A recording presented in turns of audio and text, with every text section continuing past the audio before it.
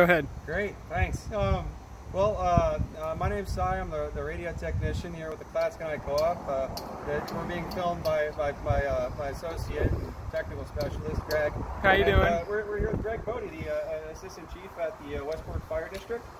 Um, Greg, we got you some internet today. We did. Yeah. We did. Real happy with it. Yeah, we're, we're happy with it too. That uh, that looks like it sits really nice wall over there. Uh, it's a point-to-point back with the uh, very bachelor restaurant in town, and then back from them to uh, Paul over at the gas station. Excellent. So it's it's people paying people for internet, and um, uh, just based on what you saw so far, do you think it's going to be an improvement in what you had? Absolutely. It's very important to us being be public service that we have a reliable, stable internet connection that will be useful to us in case of times of inclement weather or, or something like that. So it's important to us that a simple tree falling down during a windstorm isn't going to take our internet service out because we have to provide a service, we have to maintain uh, communications and data with our dispatch centers and other agencies and such. So having this is very, very important. Absolutely, you know, having wireless infrastructure be the main route of connection, it, it enables uh, the, the infrastructure to be fluid in that sense, and reliable as well. We hope to be able to provide that reliability. I, I look forward to it.